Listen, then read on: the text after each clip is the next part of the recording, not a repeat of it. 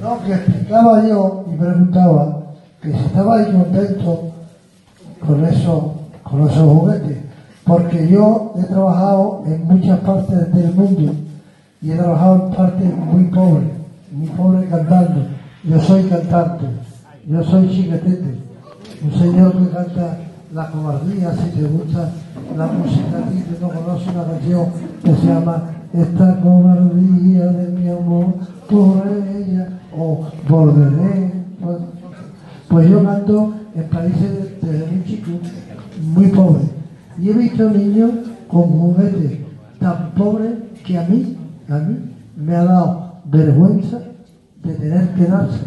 Pero sin embargo, ahora veo que a ustedes han llegado unos juguetes que os compensa enormemente. Eso es una bendición de Dios.